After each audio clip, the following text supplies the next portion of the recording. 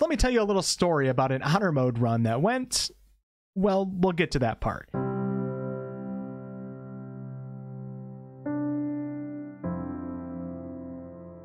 When Honor Mode released with patch 5, I had already completed a neutral good run on Balanced Mode and an evil run on Tactician, so naturally it was time to take on the challenge of Honor Mode, as none other than the Dark Urge. For those of you unfamiliar with what Honor Mode is, basically it's Tactician Plus, with a caveat of if your entire party dies, you have to start the game over, back to the beginning, if you want to achieve victory in this mode. There's no previous save point for you to load back into, which also means that save scummers have to live with their decisions. but luckily for me, I, I'm not scum, man. I already play that way for the most part. So accidentally thunderwaving Alfira off the cliff was just another day in the life. No need to reload. Your song sucks.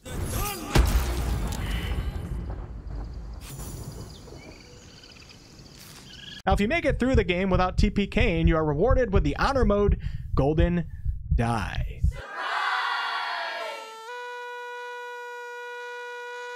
You done, TARDIS? My beautiful dark urge Drow set off on her journey with determination and excitement. She was ready to earn that golden die and redeem herself from the evil ways of her past. I decided to play this mode with actual honor, at least my own definition of what it means in this case. No alt F4ing out of the game if I die, no research at all on the bosses with their new legendary actions, no cheese speedruns, no mods to aid me, no looking at chat for answers or tips, no leaving one teammate at camp at all times so it's impossible to ever TPK. And I was also determined to do most if not all of the optional boss fights that the game offers. Now if you didn't play that way, that's fine. Don't get offended, okay? This is not an online competitive video game. It doesn't matter what you do personally. But for myself, I've just always had this thing in my brain where I can't allow myself to really feel a sense of achievement or real satisfaction whenever I take shortcuts. So I knew that I had to do this run in the way that felt honorable to me. Starting the quest for the golden die was a bit daunting, mainly because at this time I had no idea what kind of difficulty spike this mode was truly going to offer. It was the entering into the unknown that created this sense of intimidation. This was a great feeling though. I felt alive and I felt fully engaged with a game that at this point I was starting to feel a bit burnt out from.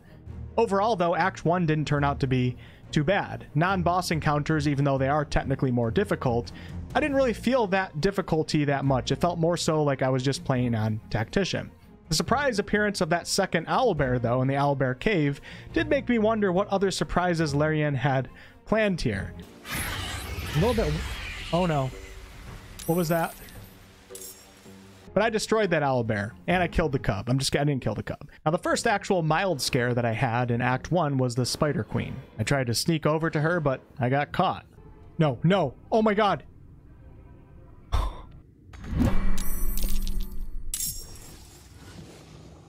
First wrench in the plans. Then I decided to be crafty and I snuck my lore bard all the way around and went for a thunder wave, hoping to push this nasty creature into the depths of the Underdark.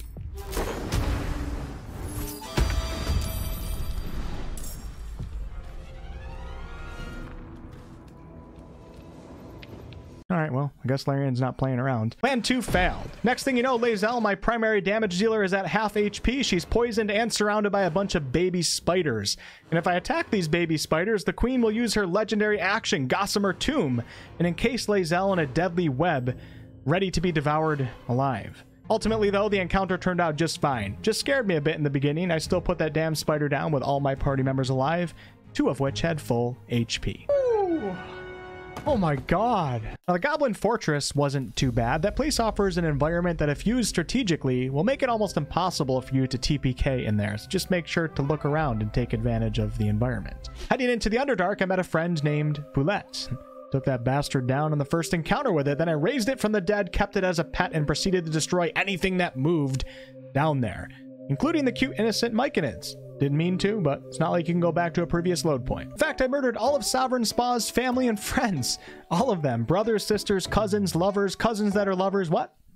I don't control Myconid society. You name it, and they met my blade in the teeth of my obedient land shark. I, of course, used non-lethal damage on Spa, though, because I'm a pretty nice guy if you just show me a little respect. I gave him amnesia, and when he woke up, he gave me rewards. Songs we sing now carry your spirit. The dude just called me Life Chanter, and I slaughtered every single freaking mushroom that was making any sort of movement in the Underdark. I love that guy. Fuck Bernard, he's dead. And on to the Forge of Grym's, which was my first almost TPK moment.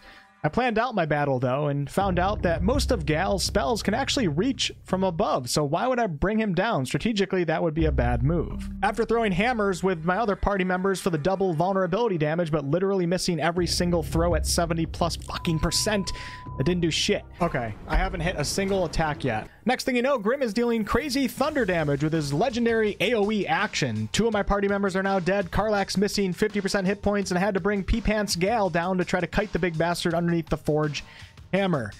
And then I made what some may call a 200 IQ play that no one has probably ever thought of before.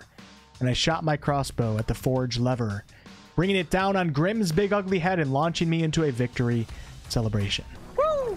Let's go! Holy crap. Wow. But Wolfheart, I shoot arrows at levers all the time. It's not that impressive. No, you don't, kid. No, you don't. Now we've reached the end of Act 1, and we're at the Githyanki Crèche fighting the Inquisitor Waraz. More like war ass. Dude sucks, and I dropped him in round 2, even tore that bastard's eye out as a trophy. Let's move on to some real opponents now, and that brings us into Act 2. But actually, to be honest with you, Act 2 didn't really put me in any true scares of a TPK. Being the nice guy that I am, I decided to help Jaheira and make her think that I like her only to later on let Ketheric expend all of his might and drop her dead in a single freaking turn. Seriously. Oh, shit.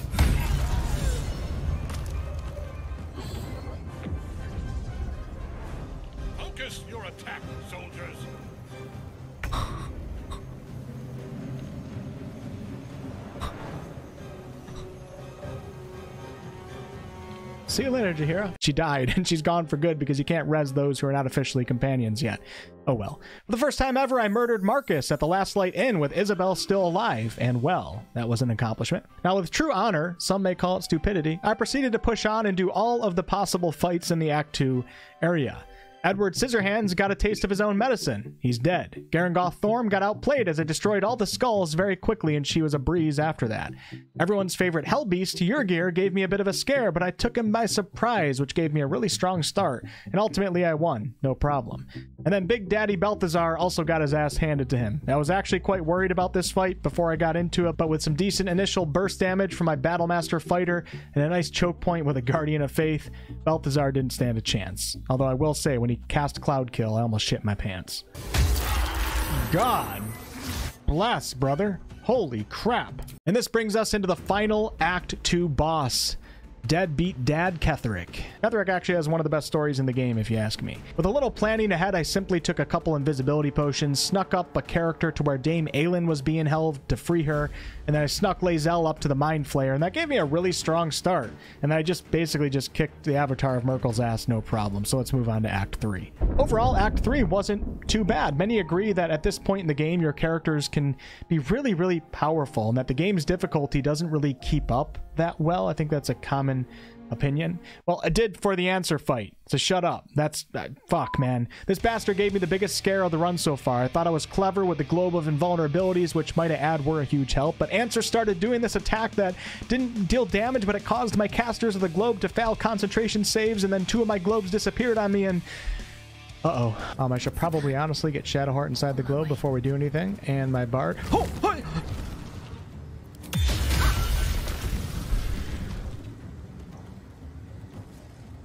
Lucky for me, I'm smarter than the average Norwegian lemming, and I decided I should probably move at least one party member, you know, really far away from where Ansur is in case he does some crazy AoE damage. What is this?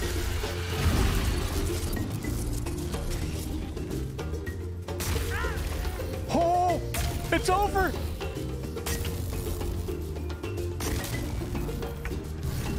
Oh my god! Ansur was just getting started though. Just just pray that I don't TPK right now. Just just pray.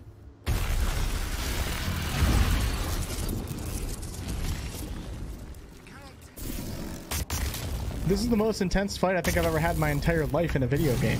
Using Death Ward on all four of my companions before the fight began turned out to be a pretty damn good strategy. Ansur only had 1 HP, and you're damn right I shot a motherfucking magic missile at his ass, of which he turned many of them into zero damage, but at least one of them got through, and that was the end of the Undead Dragon. One of these is gonna hit. One of these is gonna give me a...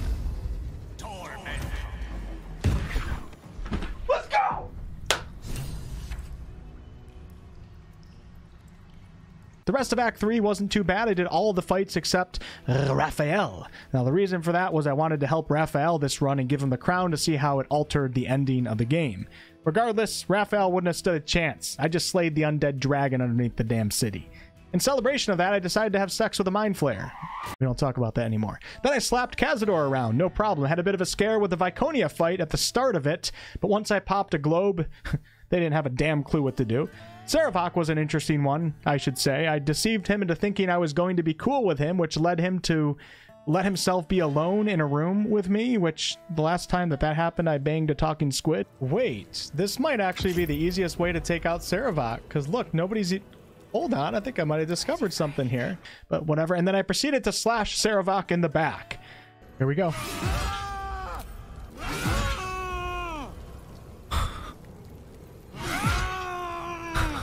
I guess that is kind of dishonorable. Fuck it though. And he went down in a single round. Didn't plan for it to happen that way, but it did. And there's no going back. So well, I guess we push on. All right. Well, Sarevok's done. it was now my time to shine.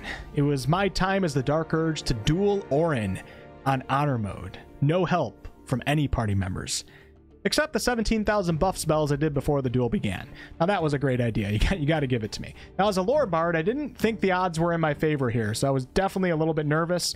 Little did I know though, a few summons to distract the Slayer and a couple casts of Hold Monster, I did miss two in a row though, and Orin was done. I even saved Pipsqueak Helson, although if you ask me, that wasn't what I came down there for. I have now made it to the end of the game, the final boss fight on Honor Mode.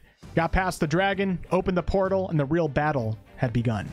One of the catches of this fight on Honor Mode is that the Netherbrain will become invulnerable to damage types that it takes in the previous round. But I pushed through it though, and I switched weapons with Lae'zel, used different types of spells, etc. But an unfortunate, unlucky Mind Blast stunned my Bard, and I lost her pretty early on in the battle. As the battle went on, I knew that my time was running out because this damn brain was blowing up all the platforms around it. There was only so many platforms left to stand on. What I didn't know was that this was the last round for the fight. Apparently on honor mode, the game doesn't show you a timer for the fight. Let me just continue on with the story, okay? So there was still a platform that was okay. I was almost sure that I would be able to get at least a few more attacks in and defeat the Netherbrain. It's now Shadowheart's turn, and she had a potion of speed active, and I started off with a successful guiding bolt. The final boss of the entire freaking game now only has 19 hit points left. If my mouth didn't taste like squid, I would say I could taste victory. At this point, I decided that I was going to use my highest spell slot available for my second action, a level 4 spell slot. I was going to cast Inflict Wounds on the brain, pretty powerful melee spell. I was certain that this would be enough damage. Yeah, I gotta get close for Inflict Wounds though, and I might as well move to the only platform in this area that doesn't look like it's going to explode. At this point, you're probably noticing a haste spore cloud on that platform. And yeah, I saved my haste grenade for endgame to ensure that I have max power. Haste grenades are a blessing, right? Well, funny thing is, in the previous round, I actually hastened the Netherbrain alongside Lae'zel and Gale.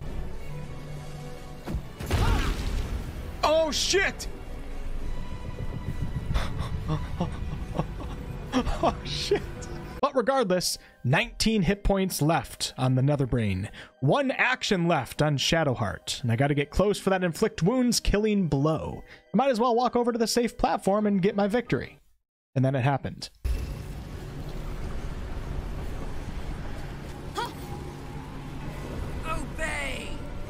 Why did that switch turns?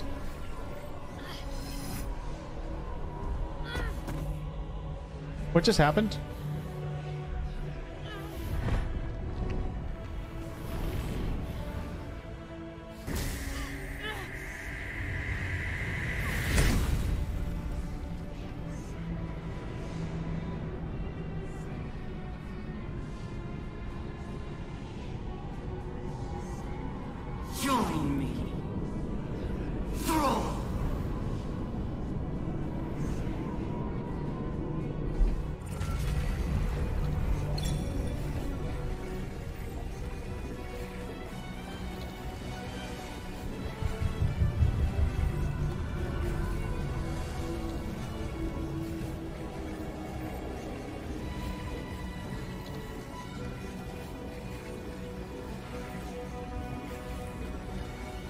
Walking into a haste spore cloud when you have only one round left of a potion of speed active on a character is apparently a really, really, really, really, really, really bad idea. This causes the potion of speed to end and your character becomes lethargic instead of gaining the benefits of the haste cloud. Shadowheart's turn ending here was the end of the timer for the fight. I lost honor mode to a mushroom cloud. oh man. Sovereign Spaw really got his revenge.